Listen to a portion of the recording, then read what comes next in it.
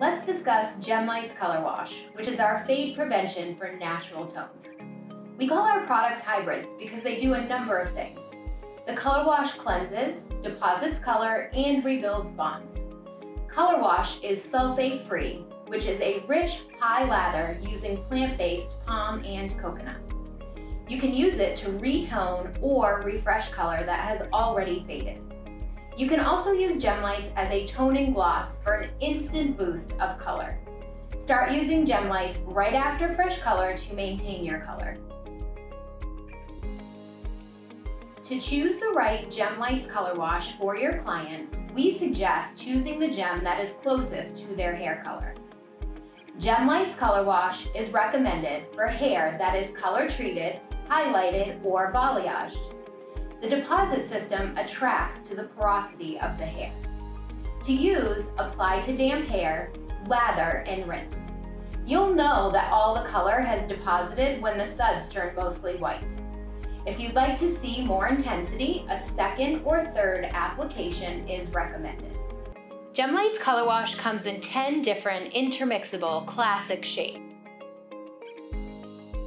Flawless Diamond creates a beautiful icy blonde. It's best suited for a high-level blonde to remove yellow. You can use it as a toner after a highlight or balayage service. Or you could use it as an add-on to refresh color during a haircut or a blow-dry service. One wash will neutralize the yellow. If you'd like to see more of an ash tone, then we'd recommend a second or third application depending on the porosity of the hair. Citrine is a pretty pale blonde. It can be used to add some life and shine back to dull hair. It can also be used as a diluter in any color wash. Sunstone is a warm golden blonde, ideal for medium to high level blondes. Cognac Quartz creates a perfect caramel tone in medium blondes to light browns. You can use it to create or boost color on highlights or balayage right at the shampoo bowl. Tourmaline is perfect to boost or maintain strawberry blonde tones. Not only does it refresh color, you can also use it with cognac quartz to repigment hair. For example, if you're taking a high level blonde back to a level 6 or darker, you would first do multiple applications of cognac quartz until a deep, natural yellow tone is achieved. Then you would follow with one application of tourmaline, and the result would be a deep yellow-orange tone. And then you would proceed with your desired color. This allows you to keep the integrity of pre-lightened fragile hair without using any additional developer. Fire Opal can be used to maintain or boost copper tones in reds and browns.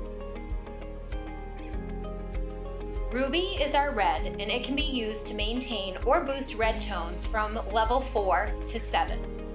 If you apply it over a darker level, like a level 4, you will get more of a jewel tone. You will get more of a true intense red if you are applying it over a level 6 or 7. Amber creates a gorgeous copper brown. It's best suited to maintain or boost color, highlights, or balayage in levels 5 through 7.